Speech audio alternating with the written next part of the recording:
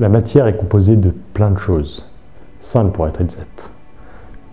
Le neutron, le proton, le platon et plein d'autres choses. Et tout ça, ça fait la matière.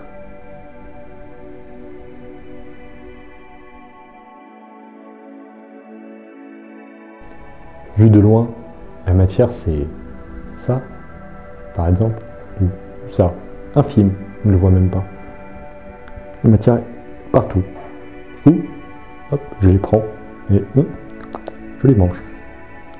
Hum, c'est bon quand même. Hop. Hum, partout.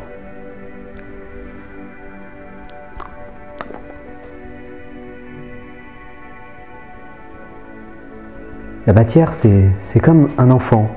Il y en a partout, on ne sait pas comment c'est fait, et on ne sait pas comment ça disparaît.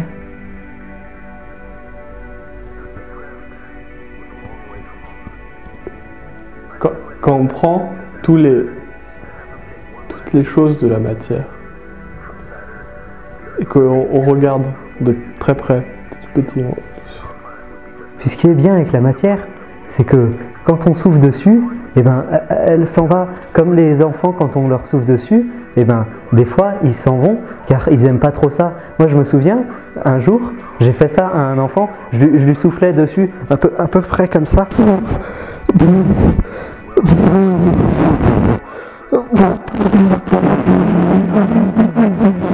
La matière, quel concept. Au début, il n'y avait rien. Et puis le Big Bang, grosse explosion sortie de nulle part.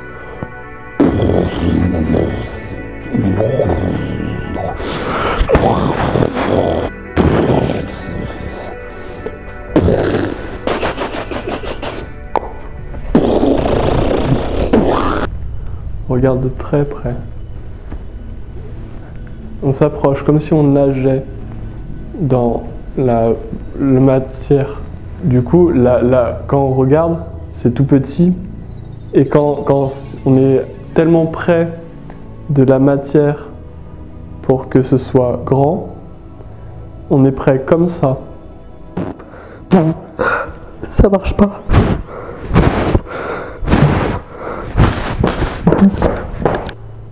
Là, là, si mon doigt était la matière et mon doigt était moi, là, je serais très près de la matière.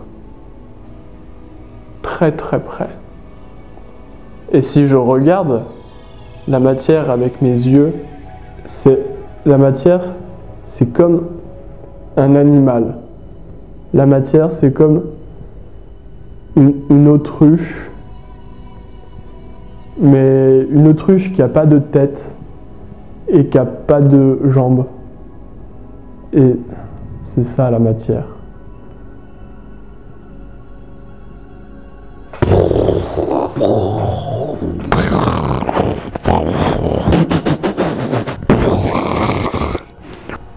La matière, c'est très très très très très très très très très très très très très très très petit.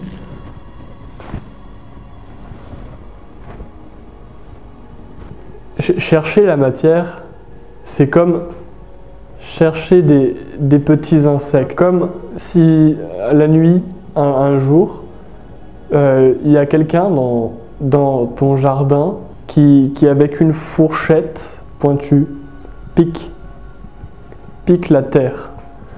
Et il pique la terre devant les enfants pour montrer aux enfants que la matière